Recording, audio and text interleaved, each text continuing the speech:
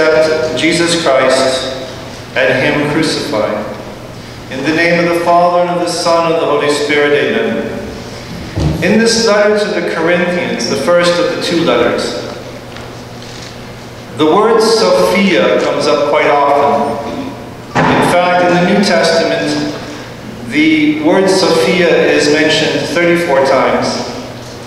And half of those times, 17 of them, are in this one letter alone, out of the 27 books and letters that make up the New Testament. So it's clear that this means something to St. Paul when he's writing to the people who live in the city of Corinth. Now, Sophia means wisdom. We often translate it as that. And it's the way it's translated. You have the uh, translation in your bulletin today. But Sophia also means skill. It also means insight. When we look in the Old Testament of the book of Exodus, God speaks of pouring wisdom into the hearts of, and he names these men. But these are men who are set aside during the Exodus in order to build the tent, and to build the tabernacle, to build the Ark of the Covenant, and to build the things that were necessary for the religious worship that God was instituting on Mount Sinai. But the word that he uses is wisdom. So wisdom has this practical aspect of skill and of insight, seeing something not just simply surface-wise, but penetrating. And hence our modern notion of Sophia being wisdom as we use the word. But even in our language, in English, we use the word wisdom. Wits, keep your wits about you, W-I-T-S. That's the foundation of wisdom. Be in a state of wits. Wits is just knowledge. Be aware and conscious of what you do. So St. Paul, what he's doing is he's writing to the people of Corinth. And I mentioned to you, these people live in a wealthy city. It's a brand new city. It's been built just in the last 80 years. Because when the Romans came through this area of Greece, they pretty well destroyed much of the city. So it was rebuilt. And so when St. Paul is writing to these people, and when St. Paul is in Corinth, it's shiny, it's new. The inscriptions are in Latin, that's how new it is. It hasn't mutated back to Greek yet. The Romans have put their impress over it. But it's a new city, it's rebuilt, and it's a port city, and there's money, and it's cosmopolitan, and there is wealth. And so the people in Corinth are not only happy to be Corinthians, they also quite, they think that they're also quite something as Christians. Called by the fact that they live in Corinth. And what St. Paul is doing is he's contrasting what is the wisdom of God and the wisdom of man. How human beings think compared to the way that God thinks. So this wisdom in this contrast is going to give the second notion in this letter to the Corinthians is about maturity growing up. St. Paul will speak about the, those who lack maturity. Usually that's the way it's translated that we have. But the word is literally perfection. Those who have been perfected. Perfected doesn't mean that they're wonderful and extraordinary. Perfected means they have arrived at being fully formed. The word in English, perfection, from the Latin facere, means to make, to accomplish, to do something. And per facere literally means to make something thoroughly. So perfection, perfectio, the word literally means the action of thoroughly making something done. So perfection is the idea of being accomplished. In the Greek, it's related to teleos, the idea of accomplishing and arriving at our goal, the purpose of why we exist. So St. Paul is going to use wisdom on one hand and then talk about perfection, arriving at where we're supposed to be. So what he's contrasting is the Corinthians are holding themselves out as being very wise, very spiritual, very supernatural people. But in fact, St. Paul is going to point out to them is that you are completely wrong about this. That you are in fact are quite immature, you are infants.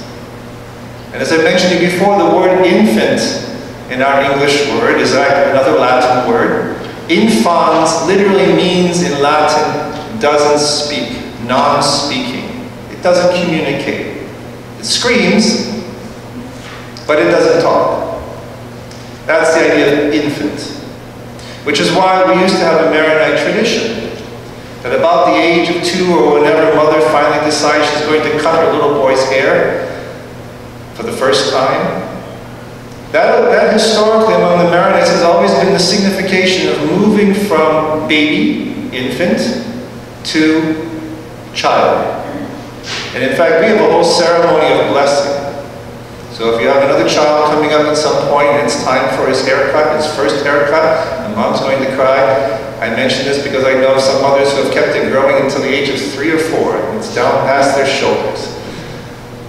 But there is a ceremony among the Maronites for the blessing of that moment when the child will move from being non-speaking infant to now child who is beginning to learn, to absorb, and communicate. That's an aside. But it's pertinent to the Corinthians because they think not only are they beyond the age of being infants in spiritual life, they think that they're quite advanced in the paths of the gospel. And St. Paul is pointing out then that you're not. And that there is always a process of moving forward. So that Sophia, wisdom, when it resonates against the Old Testament background, the Torah, the book of law of Moses, the first five books, what we call the Torah, that is considered by the Jews, was considered the embodiment of divine wisdom, God communicating and directing us to mature.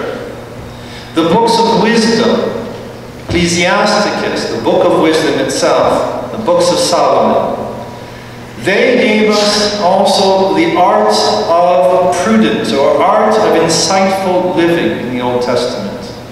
In fact, the book of Sirach, Ben Sirach, was so important and so used in the preparation of the catechumens in the first centuries of the church, it's also known as the book of Ecclesiasticus, which of course again is a Latin word, meaning that this is the church's book. Because this was the book they taught the new, the infant Christians walking on the path of insightful living to prepare them for the day of their baptism.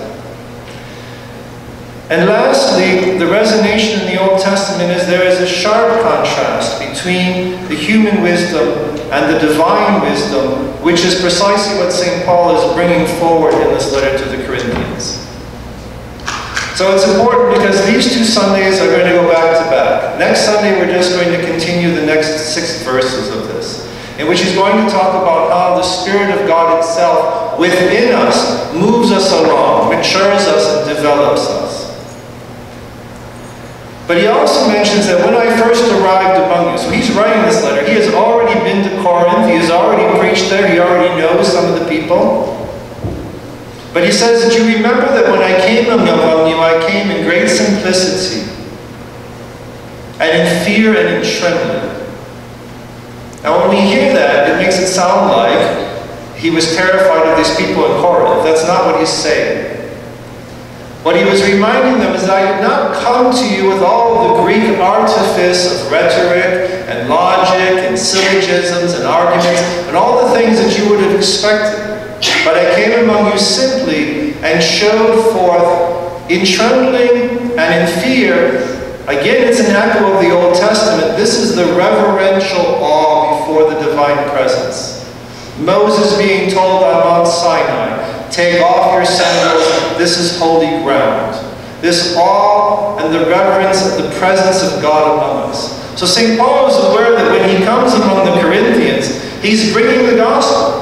He is bringing the proclamation of life from death. That's what he's bringing. Not artifice, not talent in the human sense, but the power of grace which is lived and experienced and brought forward. And so what he's immediately reminding by that one phrase to the Corinthians is, you are not living grace. You are not experiencing the transformation that is meant to be taking place within your lives.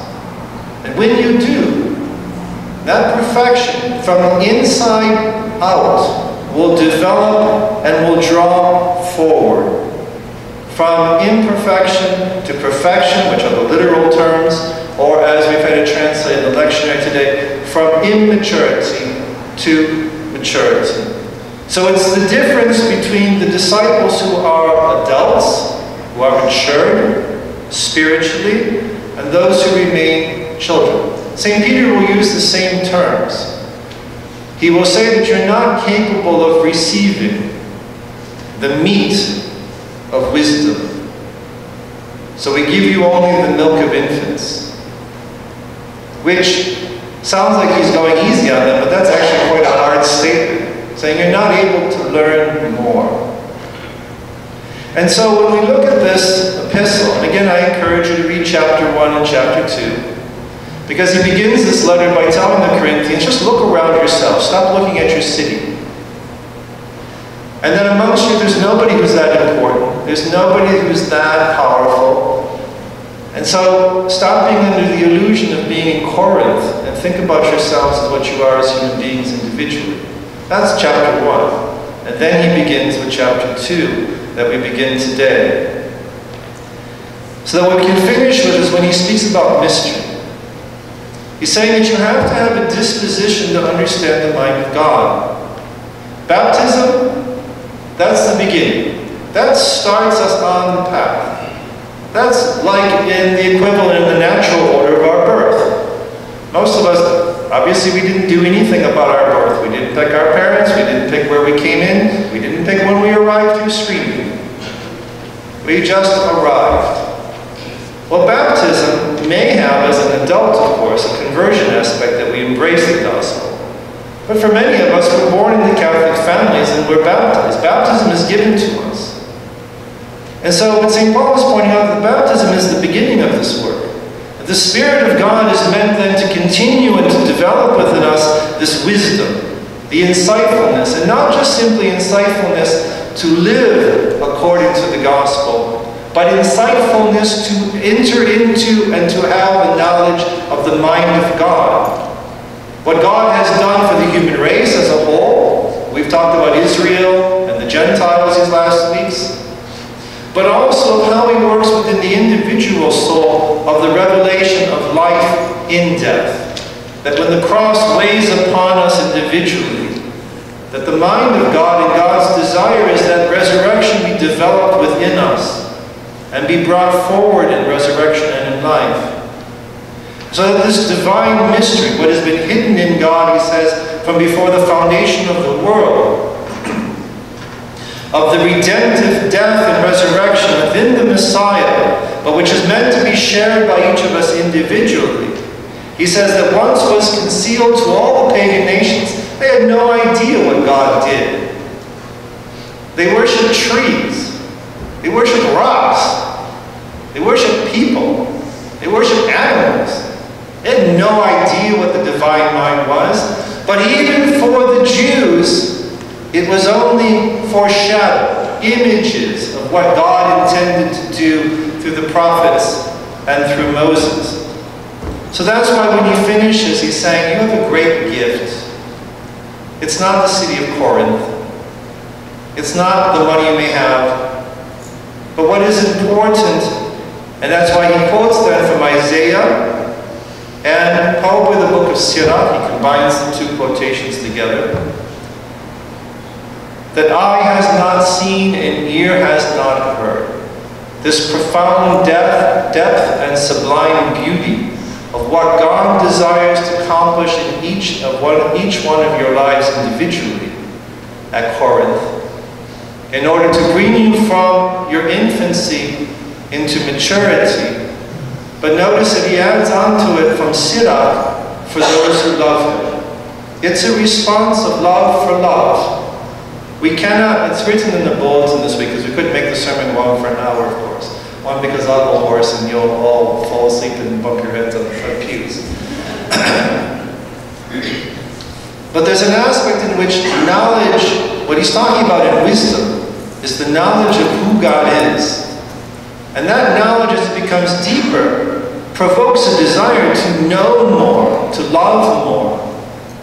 So we spend our days dating before marriage. You gotta find out who this person is. Knowledge, what we do not know, we cannot love. And when we have knowledge, it will provoke that love, and love will provoke a desire for greater knowledge. we talk, we communicate. And with our friends and with those whom we love, our desire is to know more about them and to listen to communicate. And when that love isn't there, when that knowledge isn't there, well, they may be acquaintances. They may be people that we know. We may know there is a God, St. Paul would say. But we do not love. And because we do not love, it's often because we do not know. And because we do not know and do not love, we do not enter deeper and we remain in infancy. That's what he's telling the Corinthians. And therefore, quoting from the Old Testament, from Isaiah and from Ben Sirach, he's saying that God will reveal what you cannot possibly imagine, what eye has not seen, what ear has not heard. He will reveal to those who love him, those who desire to know this. And this is revealed to us, St. Paul says, by the Spirit. And that leads us then and prepares us for next week in the discussion of what the Spirit does in our lives. But may God grant us both the desire to know more. Not hard. Just takes a bit of effort, consciousness, awareness, Sophia, insight. So that that knowledge may lead to a greater love, and that love to a greater desire to know even more. That is the greatest gift we can actually ask for, because in doing that, the foundation goes deeper in the life of the gospel that we share and embrace as being disciples of our Lord, baptized Catholics, so that we have this knowledge and this love, so that we may reach the full perfection and maturity of disciples in Christ. In the name of the Father, and the Son, and the Holy Spirit, amen.